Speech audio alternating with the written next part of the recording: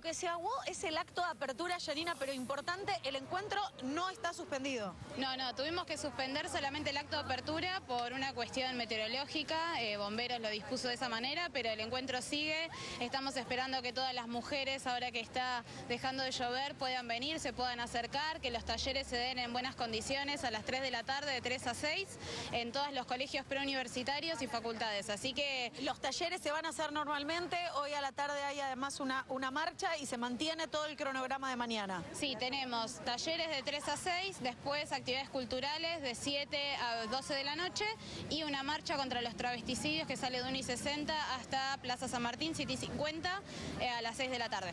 Bien, nosotros estábamos consultando también, Domi y Ricardo, qué pasa porque eh, hay muchísimas mujeres durmiendo en las distintas escuelas. Oficialmente a mí me hablaban de una escuela en la zona de Abasto que tuvo que ser evacuada por inundación y que ya se reubicaron eh, a, a, las distintas mujeres. Eso por lo menos reconocen desde la provincia de Buenos Aires.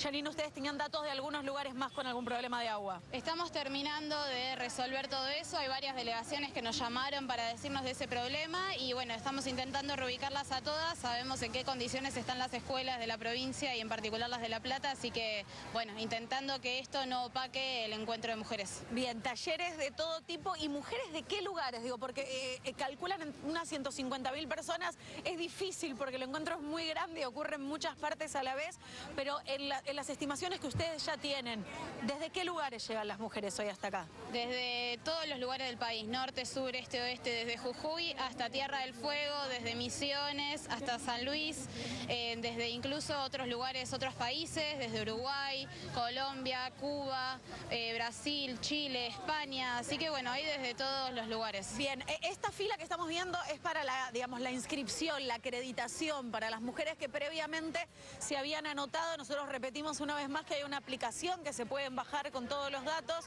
Eh, y, yo te preguntaba, ¿qué pasa si alguna mujer por la tormenta no llegó a inscribirse y quiere, por ejemplo, eh, hoy más tarde o mañana acercarse a participar?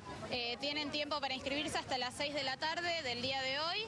Igualmente, aquellas que no puedan inscribirse hoy y que quieran hacerlo mañana, eh, mañana no vamos a hacer inscripciones, pero sí pueden bajar la aplicación, como vos decís, que tiene todos los mismos datos, tiene el mapa, tiene todos los recorridos de micros eh, necesarios, tiene dónde van a estar todas las facultades.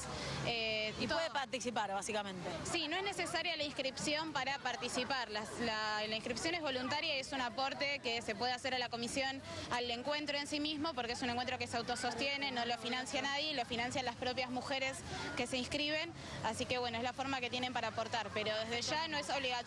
Perfecto, ojalá puedan hacerlo precisamente, pero no va a ser condición para participar. Esto quiere decir, eh, y te pido aprovecho, Domi y Ricardo, para pedirle a Confe el pronóstico específico para La Plata. Acá hay mucha gente que quiere saber cómo siguen las condiciones de, del tiempo. Se aguó la apertura, pero importante lo que pedía Yanina, aclarar esto. El encuentro sigue y a partir de las 3 de la tarde comienzan los talleres.